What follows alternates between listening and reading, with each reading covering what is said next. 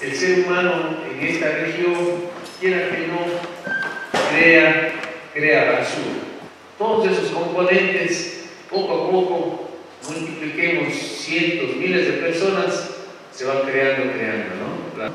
Por eso, como digo, hace años atrás, el municipio de Girón, el municipio de Santa Isabel, hace una comunidad para enfrentar y ver juntos cómo podemos tener a nuestros campos o nuestras ciudades limpias. La municipalidad ha ido subsidiando 100% hasta la fecha todo lo que gasta Girón.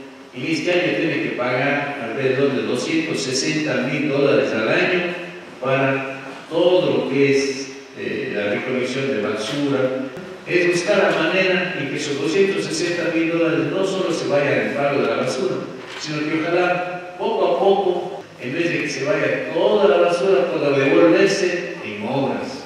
Diariamente el Cantón Girón genera aproximadamente 4 toneladas de basura. Aquí en el Cantón Girón solamente tenemos 13 trabajadores o agentes de barrio.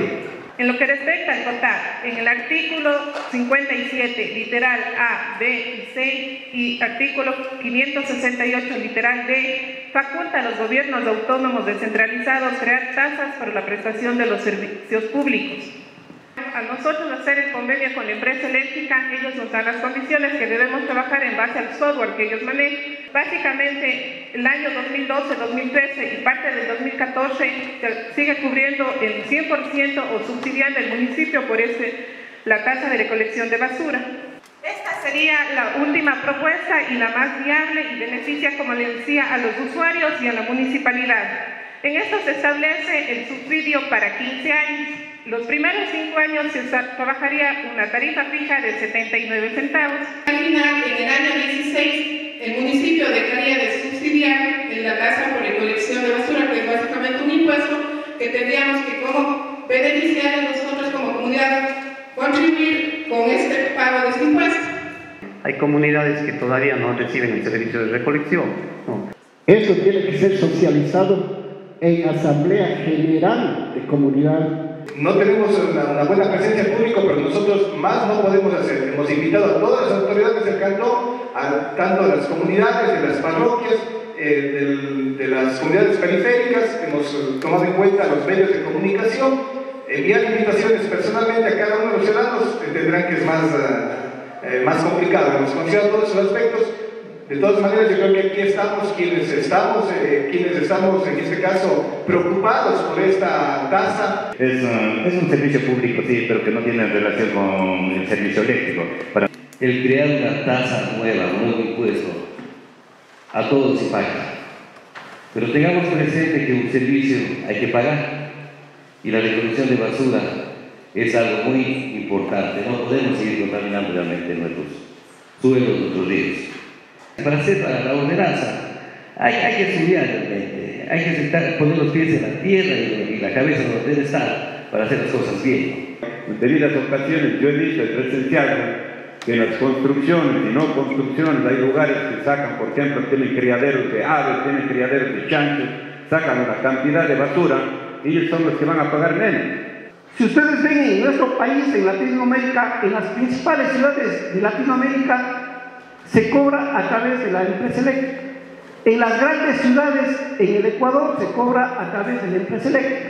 Entonces es una forma más fácil para el usuario, más cómoda para el usuario, y no es la primera socialización.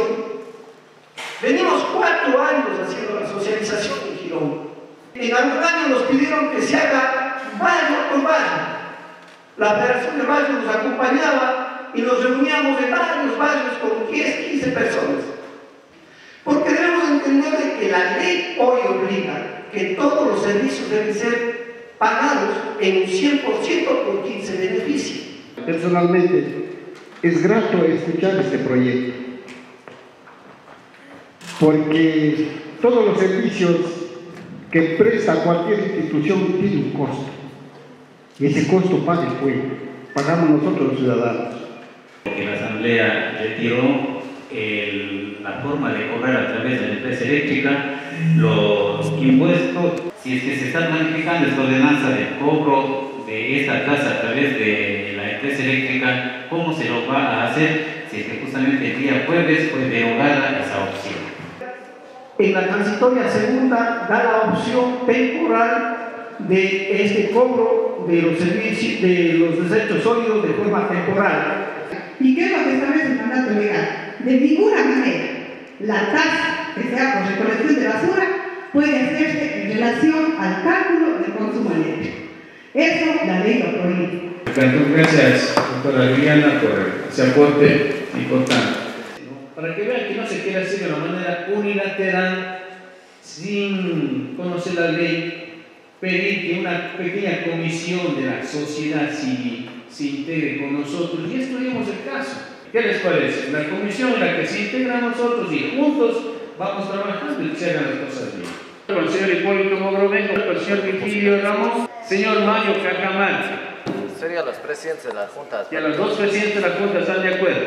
Esta comisión serán convocados para una reunión técnica para analizar con serenidad